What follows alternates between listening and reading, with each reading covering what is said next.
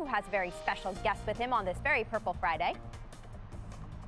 Happy Purple Friday. And I'll tell you what, last week I had this man, and he said we got to run the ball and stop Henry. And we ran for 48 yards, Lamar did, and we stopped Henry to 40. And today he's back as my special guest. I got Captain Dee-Fense joining me today. Good morning, Captain Dee-Fense. Go Ravens! Thank you, Kevin. I needed this. Look, you got a coffee. How about Yes. Kevin, get me a coffee, buddy. All right, Captain, what did the Ravens got to do this week up in Buffalo? Okay, it's going to be a challenge because the Buffalo Bills are the are the number two ranked offense, putting up 31.3, and we got the number two we got the number two defense, so something's got to give. Now, basically, Buffalo is a passing team. Unlike us, they pass a lot. Uh, uh, last uh, Stefon Diggs averaging 90, 95 yards receptions yardage per game, and Cole Beasley is about 64. So we have to watch him. You're not going to stop a guy like Diggs. You just got to control him. We got to run the ball.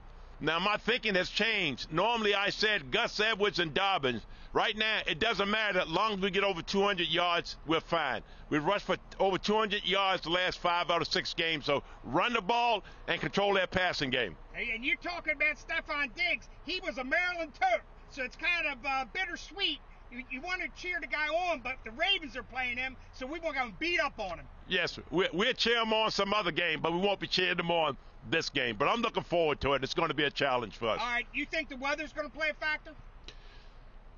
Well, it might, but I, but I don't I don't worry about that because our motto: anytime, anywhere, any weather, including the snow. We play Ravens football. We play smash mouth. We're going to run the ball. All right, well, I thank you for being my guest today. Oh, look at this. Kevin Yeah, you brought got me it, a coffee. Thank Oh, you got a coffee much. too? All right, Everybody Captain got Defense, coffee. Thank you, everybody. You got a coffee. Captain Dee-Fense. Got got a coffee. You're watching So we're already ready to go. 45. Good day, Baltimore. Go Ravens. Always.